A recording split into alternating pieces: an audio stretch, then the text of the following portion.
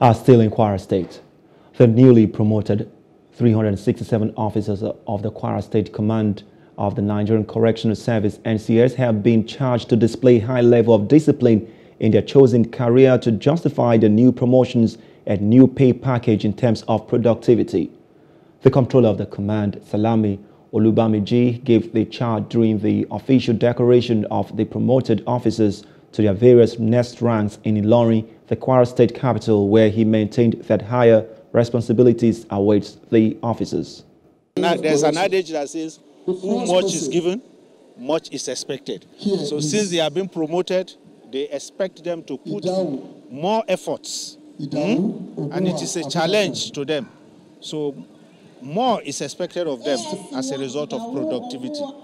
So they should justify that promotion and they should justify the new salary they will be paid as a result. The newly promoted officers who could not hide their joy say the elevation will spur them to doing more in their various units. Last year I missed promotion, I was not happy. But this year I thank God because I'm being counted worthy of the promotion. More promotion, more task ahead of you. So there's, I'm prepared for whatever is coming ahead of me. I'm a correctional officer and a correctional officer I shall remain forever. It's a very good thing to be promoted.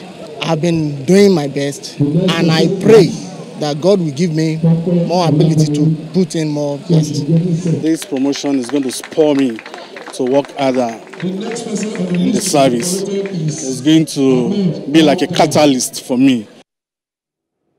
Hello. Hope you enjoyed the news. Please do subscribe to our YouTube channel and don't forget to hit the notification button so you get notified about fresh news updates.